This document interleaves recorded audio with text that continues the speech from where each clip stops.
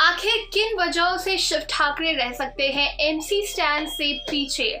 दोस्तों big boss 16 का finale करीब है और तीन लोगों में तगड़ी टक्कर है। प्रियंका चार चौधरी एमसी स्टैन और शिव ठाकरे वही शिव ठाकरे और एमसी स्टैन की बात करें तो अब यहाँ पर भी कांटे की टक्कर दिख रही है।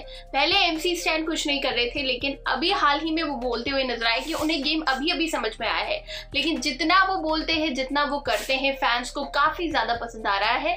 तो अगर इन दोनों की टक्कर की बात करें तो कहीं ना कहीं एमसी स्टैन भारी पड़ सकते हैं। कुछ रीजन हम आपको बताएँगे वीडियो आखिरी तक ज़रूर देखेगा तो दोस्तों शिव ठाकरे की बात करें तो पूरे शो में उनका खुद का कोई भी मुद्दा नज़र नहीं आया। हमेशा वो दूसरों के मुद्दों के लिए ही लड़ते हुए दिखे।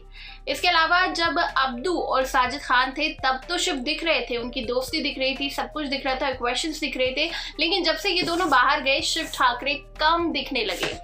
इसके अलावा बात करें फ़ैन फॉलोइंग की तो यहाँ पर भी एमसी स्टैंड भारी पड़े शिव ठाकरे पर। इन दोनों के फैंस एक दूसरे के सपोर्ट ज़रूर करते हैं, लेकिन जब अलग अलग की बारी आती है तो स्टैंड के फ़ैन भारी पड़ते हैं शिव के फैंस पर। इसके अलावा दोस्तों, शिव के अंदर जो जुनून होता है ना फिनाले का, वो कम देखने को मिला, और फिनाले वीक में उन्होंने इतना कुछ खास नहीं किया जितना कि उन्हें करना चाहिए था विनर बनने के लिए। वही दोस्तों, शिव ठाकरे पूरे शो में मंडली मंडली करते हुए नज़र आए। उनकी बातें मंडली के इर्द गिर्द घूमती थी, लेकिन स्टैन ने ऐसा नहीं किया। स्टैन कम बोले, लेकिन हर किसी से घर में उनके पंगे ज़रूर हुए।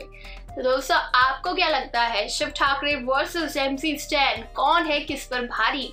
नीचे कमेंट सेक्शन में ज़रूर बताइए। और इसी तरह की दूसरे अपडेट्स के लिए सब्सक्राइब करिएगा हमारे चैनल को।